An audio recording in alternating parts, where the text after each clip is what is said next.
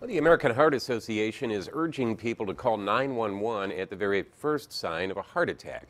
February is American Heart Month. Heart disease is the number one killer of Americans. Symptoms of a potential heart attack include shortness of breath, chest pain, and soreness in arms and legs. Assistant Professor Craig Goergen and other researchers at Purdue are studying better ways to diagnose and prevent heart problems.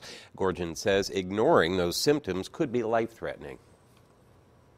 Timing of that is, is even more important because the, the, sooner they can treat you, the more likely they are to prevent you from having a, a really massive heart attack and even dying. Heart attacks are most common in those who are aging, have an unhealthy diet or lifestyle, and families with a history of heart problems. To find out if whether you're at risk, head over to WLFI.com.